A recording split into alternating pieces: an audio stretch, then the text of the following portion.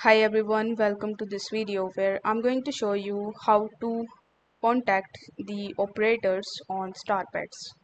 For that you need to come to starpets.gg which is the official website of StarPets. Over here the first thing that you need to do is to simply log in into your account by providing your email address and your password.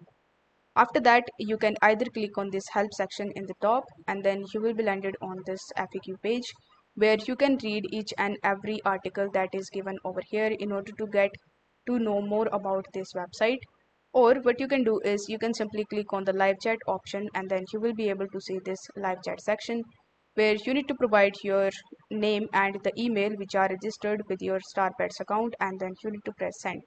This way you will be able to contact with the operator on StarPets. For more contacts, what you can do is you can simply follow them on Instagram, Telegram, YouTube and Discord and you can even get assistance from them on their social media handles. I hope this video was helpful and if it was then don't forget to like the video and subscribe to the channel. Thank you so much for watching.